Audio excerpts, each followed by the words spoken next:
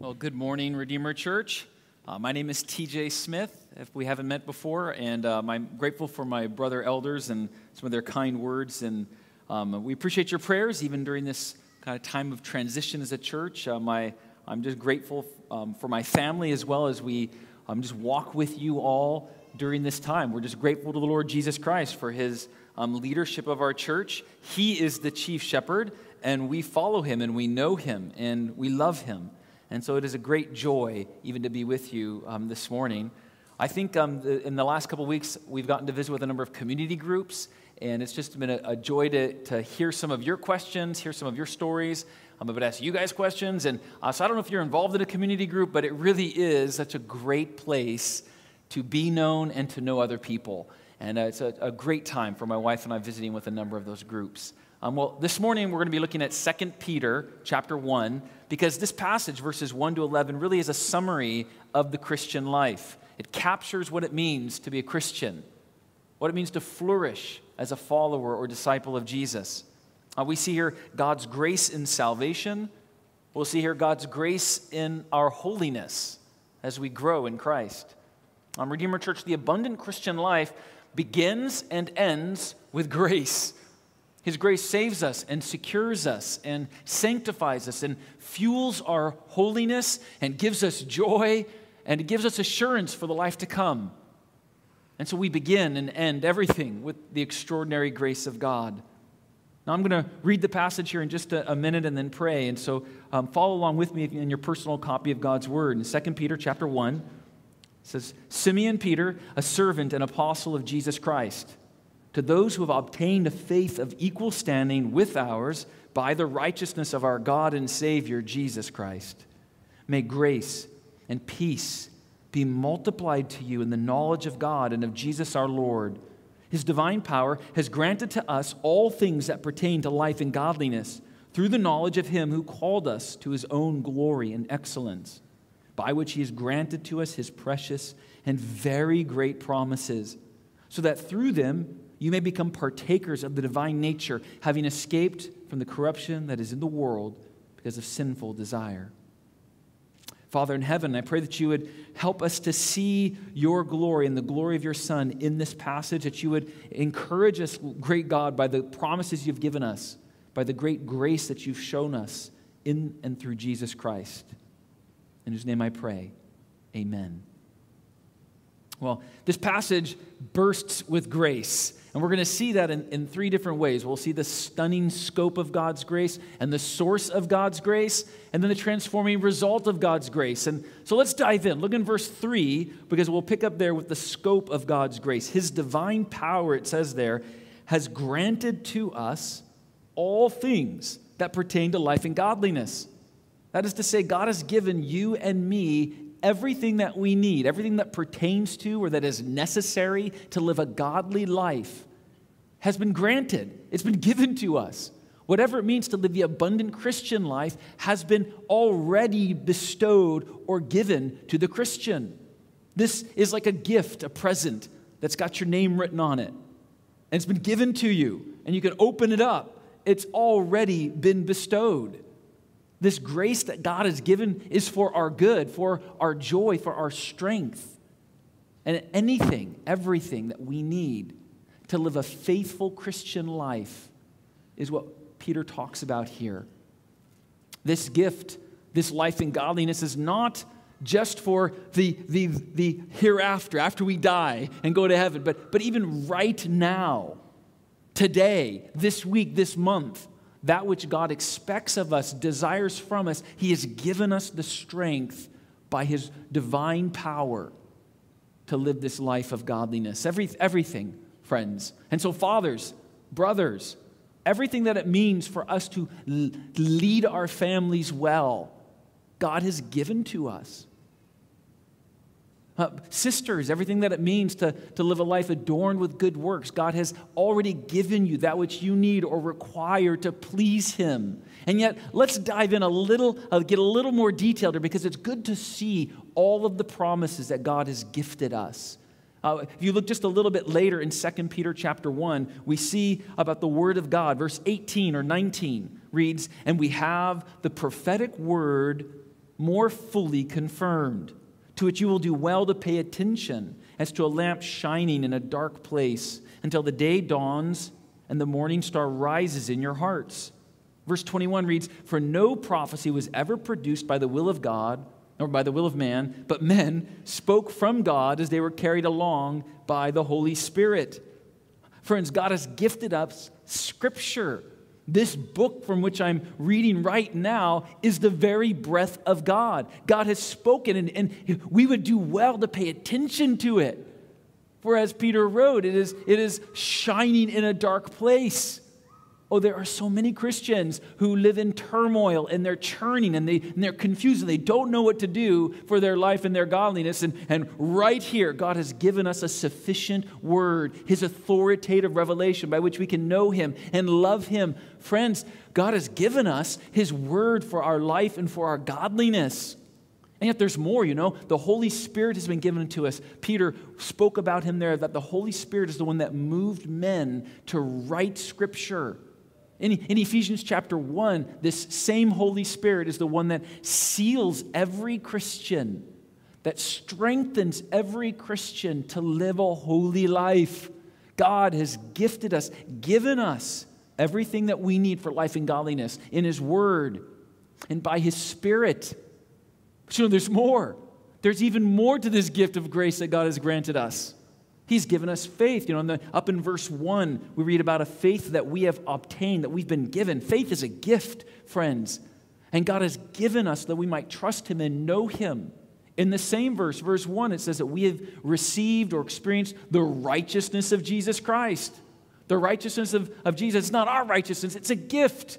And so we have the righteousness of Jesus and the faith that God gives us and the Holy Spirit and the Holy Scriptures, all so that we might live a godly, faithful, abundant Christian life. These good gifts are given, friends, so that we might know Him and love Him. And there's so much more, right? We could look in 1 Peter at the hope that He's given us through the resurrection of Jesus, or the joy that He's given us that we will experience fully when we see Him face to face. God has given me and you everything that we need to live a life that is pleasing to Him. In this passage, we see one other aspect of this great gift. Because in verse 4, you know, in verse 3, we read, His divine power is granted to us all things. In verse 4, we read, He has granted to us His precious and very great promises. His precious and very great promises. Oh, friends, by His glory and by his excellence, he has given us pledges, declarations. If you're a believer, a follower of Christ, God has promised to you to be for you all that you need in this life. But I want you to see some of these things because the, these, these promises, they are precious. They are very great. I just want you to see three or four. You know, Romans chapter 10, verse 11, the Apostle Paul writes, Those who trust in the Lord will never be ashamed.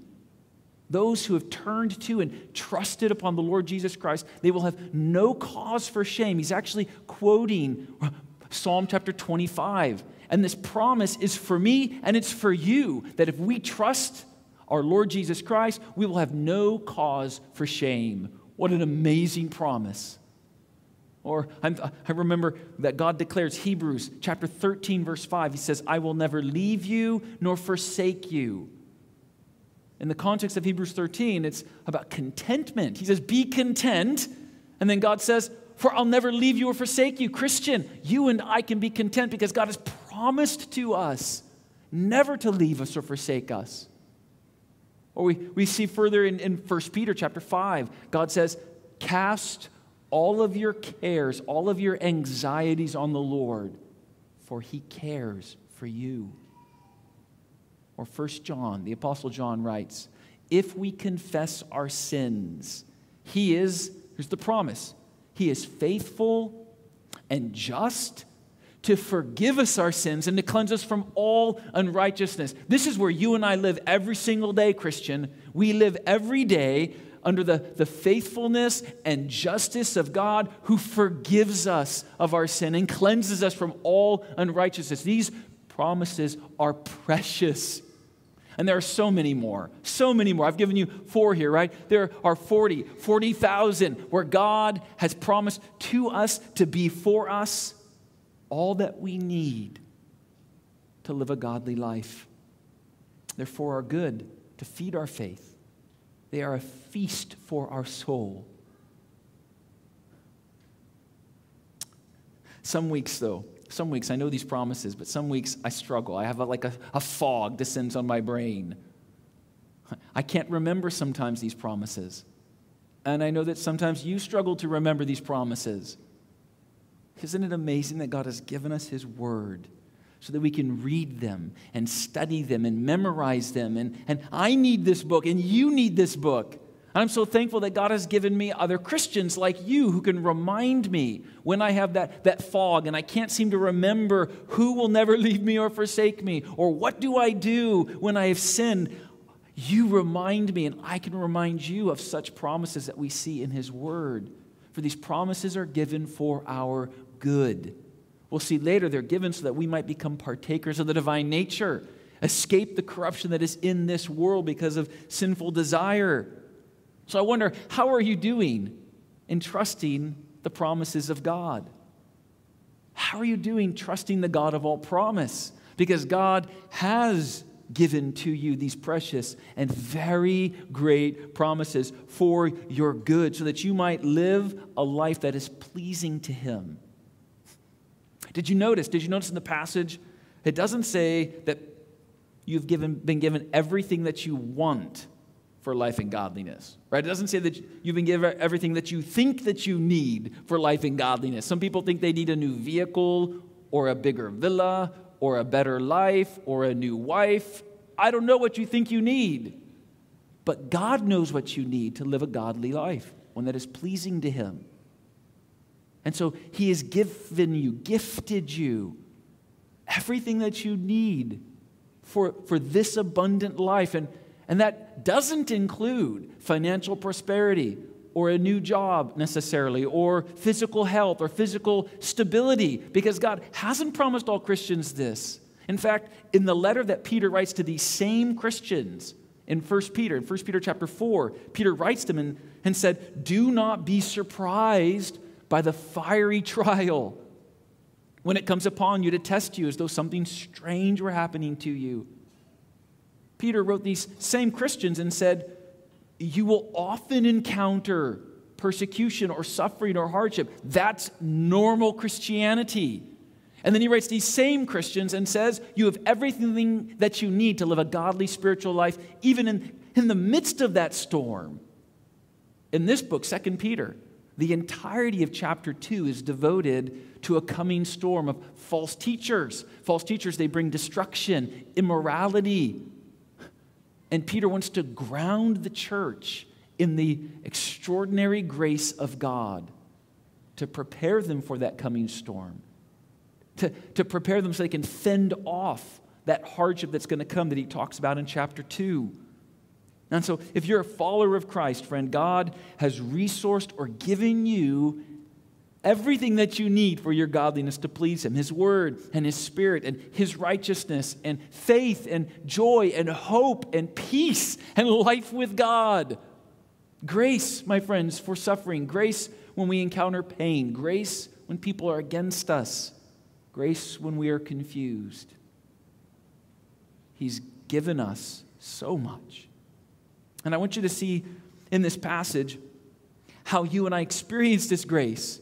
I want you to see how, a, how an individual or a church comes to enter into this because we see in this passage the intimate source of God's extraordinary grace. Verse 3, the very next phrase says that it is through the knowledge of Him who called us to His own glory and excellence. brothers, and Christi- brothers and sisters, God has called us to Himself right? So that we can know Him, so we can experience life with Him. And it is through knowing this God, through trusting Him, embracing Him as, as His own, that, that we experience life with God. And now, you and I, you and I, as we see in this passage, we experience something that is actually astounding. It, it, it's actually shocking. It's surprising because you and I, as Christians, we can know God. I mean, just imagine it. We're creatures, we are finite. We barely know it's going to happen later this afternoon. And we, as creatures, we see in this passage, we have come to know our Creator. And we know Him truly, if not comprehensively. We know Him from our heart. And it is through this knowledge of the eternal God that you and I begin to experience this great bounty, this gift of grace. And so let's talk about this great knowledge of God because the, the, the dilemma of the world, I mean, the great problem of the world is that the world does not know God, not naturally. Humanity is separated from God. Naturally, human beings are, are spiritually blind, spiritually ignorant. Uh, humanly speaking, people do not know God, they're, they're separated from Him. The book of Romans, chapter 1, talks about this knowledge of God and the way that people think about God. In Romans chapter 1, Paul describes for us what is the spiritual condition of everybody born in the United States of America, where I was born, or in the United Arab Emirates, where we live today, It's in, in Romans chapter 1 and verse 18, we see what is the spiritual condition of every single Nigerian and Filipino and American and Indian. We see it here spelled out. Verse 18 says, For the wrath of God is revealed from heaven against all ungodliness and unrighteousness of men, who by their unrighteousness suppress the truth. For what can be known about God is plain to them because God has shown it to them. Verse 20 says, For his invisible attributes, namely his eternal power and divine nature, have been clearly perceived ever since the creation of the world and the things that have been made. So they, so they, who? So they, all of humanity, all of the world is without excuse. For although they knew God, they did not honor him as God or give him thanks but they became futile, empty, vain in their thinking, and their foolish hearts were darkened. Friends, our hearts were darkened. Our thinking was futile, was empty, worthless. We did not know God until God called us to Himself. God saw us he set his love on us. He drew us to himself. And we can say today, Christian, you and I know God. We know the Creator. We know him personally. In Christianity, friends, Christian, knowing God is a very great thing. It's an astounding thing. All through Scripture, to know someone is, is a, an important thing, a deep thing. You remember Adam and Eve? It says there in Genesis chapter 4, verse 1 that Adam knew his wife. And she conceived and bore a son. To, to know someone in the book of Genesis was to be so intimate with them, to know them truly, personally. Um, in the book of Isaiah, chapter 1, verse 3, we see this negatively. You know, the Lord speaks of Israel Children have I reared and brought up, but they have rebelled against me. The ox knows its master. The donkey knows its master's crib, but Israel does not know. Israel does not understand. There, the nation of Israel is seen as rebellious to. Though they know about God, they don't know Him, personally. Friends, you and I, we were lost, separated from God. And that is why Jesus Christ came, so that we could know God. Do You guys remember John chapter 14, 6? One of those amazing I am statements. Jesus says, I am the way, the truth. You, you know it. Say it with me. Jesus said, I am the way, the truth, and the life. No one comes to the Father except through me. The very next verse, verse 7, Jesus says, If you know me, you will also know my Father. From now on, you do know him and have seen him. That is to say, Jesus says, to know the Father is to know me. When you've seen me, you've seen the Father. In John chapter 17, verse 3, Jesus says, And this is eternal life, that they know you, the only true God, and Jesus Christ, whom you've sent. Friends, you and I were meant to know God. The theologian J.I. Packer rightly asked, What were we made for? To know God. What aim should we set ourselves in life? To know God. What is the eternal life that Jesus gives? The knowledge of God. What is the best thing in life, bringing more joy, delight, and contentment than anything else? The knowledge of God. This knowledge of God is, is so important. We see it here in, in 2 Peter chapter 1. In verse 2, Peter begins his letter with this blessing. These, these aren't just empty words. This is what he desires for every single church, for every single Christian. He says, May grace and peace be multiplied to you in the knowledge or knowing God and of Jesus our Lord. He, he concludes his letter with similar words in, in 2 Peter chapter 3. He says, verse 18, but grow in the grace and the knowledge of our Lord and Savior Jesus Christ. To him be the glory both now and to the day of eternity. This is a personal, true, intimate knowledge of God that you and I can have. One scholar surveyed this word throughout the New Testament period of time, and he, he summarized this word for knowledge this way. He said it means to come to know someone for who they really are. Coming to know someone for who they really are. You know, when you know somebody really, truly, intimately, deeply, you can almost read their mind. Right? It's almost like a superpower. You know, your, your best friend, you don't have to ask them what's their, what's their favorite food. You know what their favorite food is. If you ask me what my wife is thinking on, on any given day, sometimes I actually know it because we know each other. Coming to know someone for they really are, this kind of intimate knowledge. Friends, you and I know God. If you're a Christian, if you're a follower of the Lord Jesus Christ, you have come into relationship with Him by His grace, and you and I can say, not comprehensively, but truly, we know the God of the universe. What a great thing it is to be in fellowship with this great God. Now, friends, Redeemer Church, there, there are two errors that Christians sometimes slide into when, when we talk about this knowledge of God. Two ways we get confused, right? The first error is that Christians sometimes confuse knowledge about God with knowing God personally.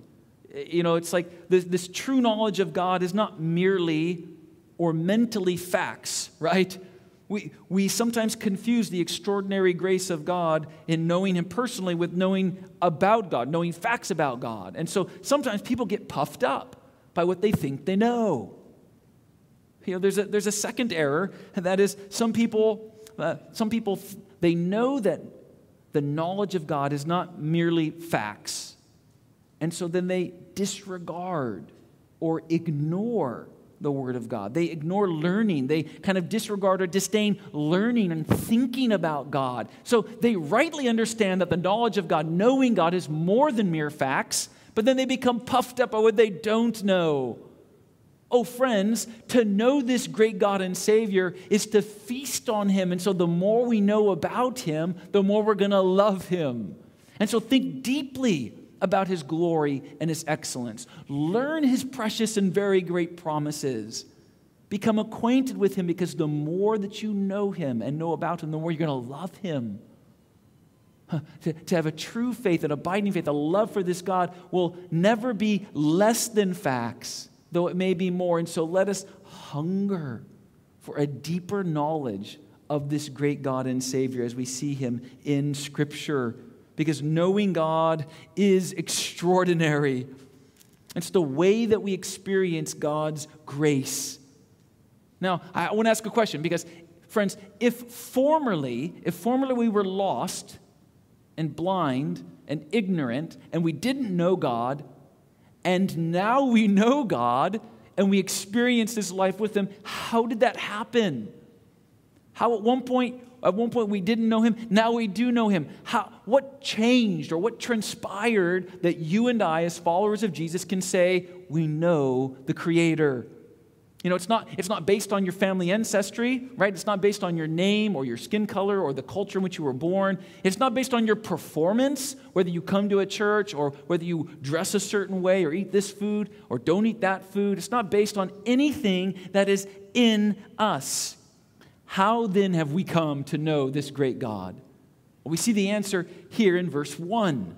In verse 1, Peter writes, To those who have obtained a faith of equal standing with ours by the righteousness of our God and Savior, Jesus Christ.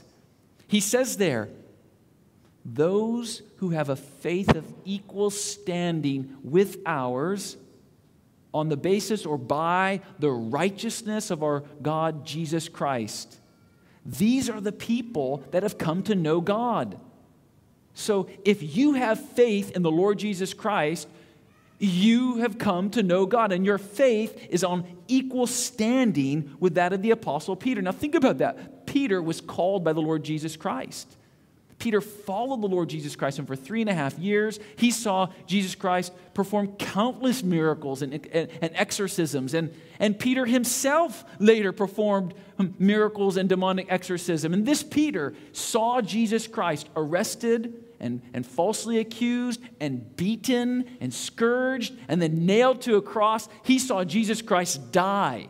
He saw where Jesus Christ was buried. This Peter saw that Jesus Christ rose from the dead and he heard the commission that, that Jesus Christ gave to him. And then Peter, for the rest of his life, preached that salvation is in no other name than this one, Jesus Christ. Ultimately, Peter, according to church history, Peter was murdered. He was crucified upside down because he was convinced that Jesus Christ was the way, the truth, and the life. And Peter's faith, Peter's faith in the Lord Jesus Christ, and your faith in the Lord Jesus Christ are of the same quality, the same kind of an equal standing. So it's not a, there's not like a superior faith and an inferior faith. There's a superior Savior who saves us and draws us, and we trust in Him. And so we see here that those who have obtained a faith of equal standing experience this grace. We also see that it is by the righteousness of Jesus. It is by the righteousness of Jesus that we experience this kind of knowledge, which is to say, not our righteousness. It is not your righteousness that brings you in a relationship with God. It is the righteousness of another, of Jesus Christ. So that when he died on the cross for us, when he rose from the dead, anyone who trusts in him receives his righteousness. And so, on the basis of our faith in the Lord Jesus Christ, we experience his righteousness. We come to know this great God and Savior. And we know him truly through faith in the Lord Jesus Christ. We know him because of his glory and his goodness.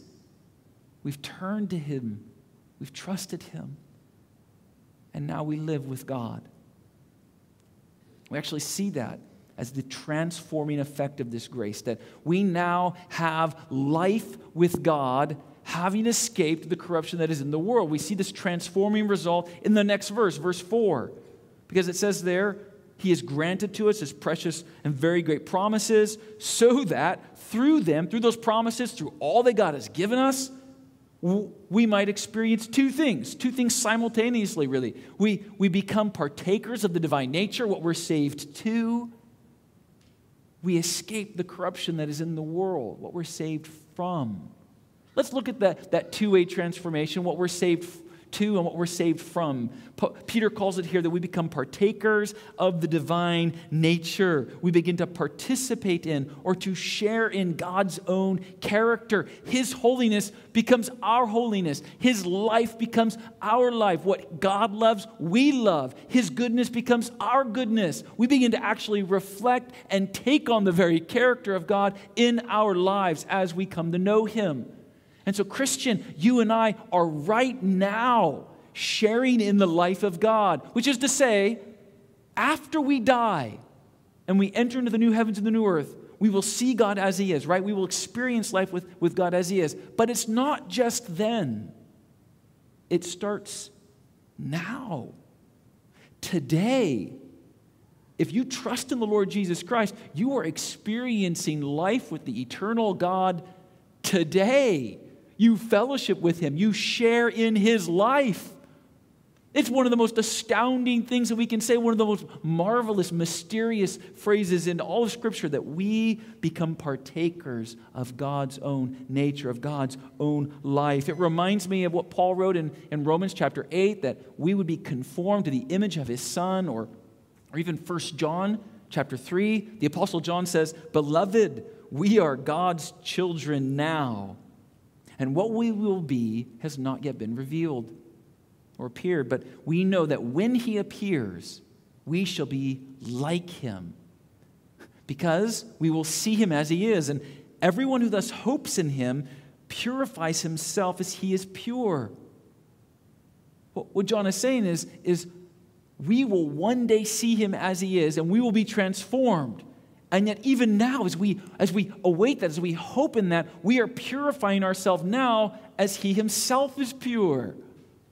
And so, this life of God is something we experience today through the knowledge of Him who called us by His glory and His excellence. To become a partaker, partaker of the divine nature is to have fellowship with God this afternoon. When you speak with your loved ones about the things that you've heard today, or when you talk with your neighbors about what it means to know the Lord Jesus Christ, or when you go to work this week and you're a faithful Christian living a life of holiness. You're becoming a partaker of the divine nature through the grace of God, through the knowledge of God, through obedience to what God has called us to do. This is what we're saved to to know Him, to become like Him, to live life with Him.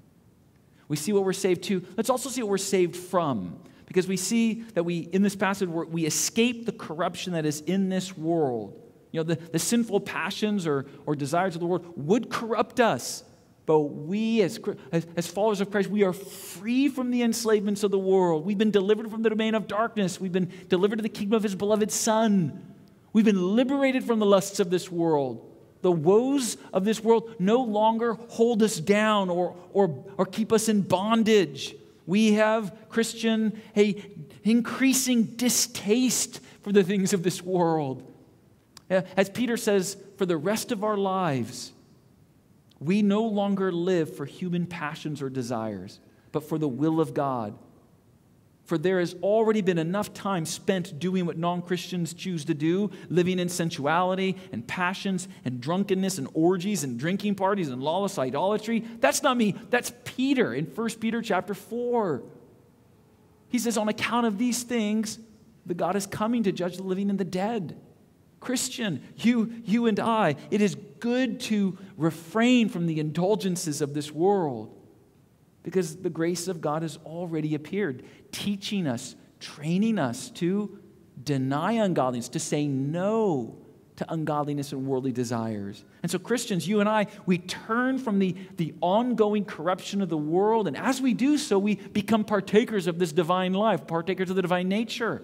They, they, they happen together. You, you can't have the life of God with you and be living and, and Eh, of the life of immorality. God desires that we would take on life with Him through faith. Now, one of Peter's main concerns in this letter is that some Christians don't actually live like this. Some Christians don't actually live like they've escaped the corruption that is living in the world because of evil desires. Some teachers out there, some online, some here in Dubai, they, they teach that Christians can live however they want. They can do whatever they want, sleep with whomever they want, drink whatever they want, and, and you're all good because of the, the purported grace of God.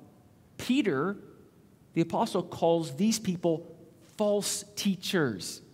They teach falsely. And I know that even some of you perhaps have been confused or deceived by such a thing. Some of you think that you can be a follower of Christ and live however you want. Peter says it ought not to be. Brothers and sisters, we are no longer enslaved to the things of the world. We have been freed from the corruption that is in the world because of sinful desire. We ought not to go back to those things that once enslaved us. Some of you know what I'm talking about. Some of you know because you are overcome with sin. You feel in bondage to something. I just encourage you today. I invite you today, come into the light. Come and speak with any one of the elders or the pastors here. Speak with a, a, CG leader. In fact, talk to any other member here. Ask them to pray for you, and they'll pray for you. Ask them to help you work through to be free from the enslavements of this corrupted world because that is God's desire for people who follow the Lord Jesus Christ. That we would flee, escape from, leave the corruptions of this world so that we might know the glory and the excellence of our God and become like Him, live life with Him. You know, this escape we read about in verse 4 regards a moral escape, the moral corruptions that are in this world. Uh, but there's coming a judgment upon all corruption. And Christians, we, we don't experience this coming judgment, right? Because in 2 Peter chapter 3, it talks about this, this day of judgment that is coming for all people. That God is going to come and He's going to judge the living and the dead, and every single human being will be before God on that day chapter 3, verse 7, he talks about the, the judgment of the ungodly. He says that the day of the Lord is coming like a thief. That means we won't expect it. And yet, Christian, you and I have no fear of that day because we have been forgiven. We have been pardoned through the death and the resurrection of the Lord Jesus Christ. And so, you and I, follower of Christ, have nothing to fear on that day of judgment. Now, if you're not a Christian, if you're not a follower or disciple of the Lord Jesus Christ, today is that day to turn to and trust in the Lord Jesus Christ because the promise is for you as well. Those who trust in him will never be ashamed. And should you turn and trust in the Lord Jesus Christ, then by faith, because of what he's done, his righteousness becomes your righteousness and you will have nothing to fear on that day of judgment that comes. This, my friends, is the extraordinary grace of God in salvation that we have done nothing to earn, nothing to merit. We, we pay nothing because God has already done it for us. We experience life with God. We know God. And we are becoming like him every day as we escape the corruptions that are in this world because of sinful desire. Let us now pray and thank this great God for his salvation. Father, I thank you so much for your grace to us. For even as we sang earlier, Jesus is our gift of grace. There's no more you could give. He is my righteousness, He is my joy. He is my peace.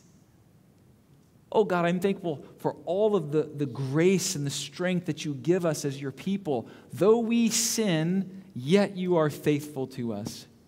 Though we forget your promises, you remain faithful. Oh, Father in heaven, help us to see Jesus Christ because we want to know him. We want to know you, and we do know you. Oh, great God, I thank you so much for your grace that we as creatures can know you and love you and be in, in relationship with you. Oh, great God, I ask that even now you would open the eyes of those who have yet to see, that they might trust in your Son, Jesus Christ. In whose name I pray, amen.